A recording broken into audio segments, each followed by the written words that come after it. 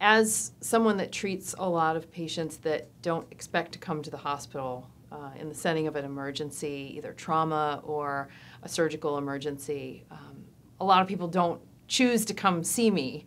Um, so my treatment philosophy is that everyone should receive the very best care possible, especially in a very difficult circumstance. Um, when you don't expect to have to be in the hospital, um, when things are really uncertain and it may be a life-threatening condition, um, we want to try and deliver the very best care that we can. Um, and to treat not just the patient, but also the family, because those moments can bring a lot of uncertainty to the family um, and questions about what's going to happen next. And we try and be as open and honest, but also as caring as possible.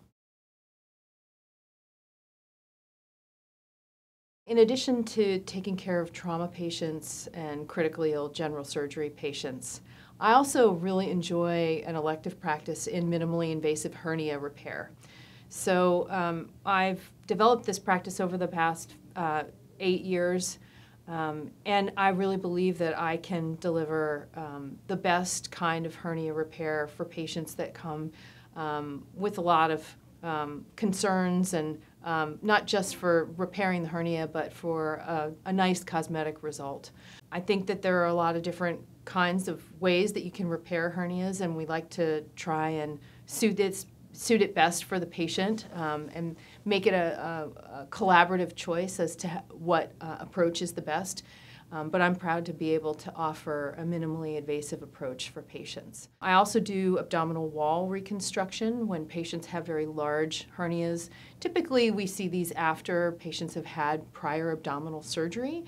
Um, and these can be uh, very involved and difficult operations um, for the patient, uh, need to be admitted to the hospital for several days. Um, I re really enjoy being able to do those operations to be able to help people get back to a level of function that they really have been compromised over uh, several years, typically after they've had uh, a big operation and have developed a hernia as a result.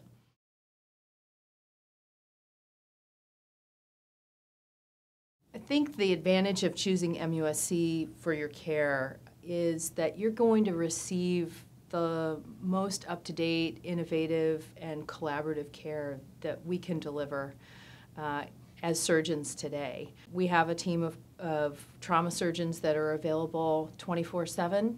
Um, we have a team of critical care providers that are able to uh, respond to any um, evolving emergencies um, in patients in the hospital and new patients that are admitted through the emergency room. MUSC is the level one trauma center for the region, and as such, we deliver the most uh, comprehensive uh, care for trauma patients uh, available not just in Charleston but uh, in the region in South Carolina.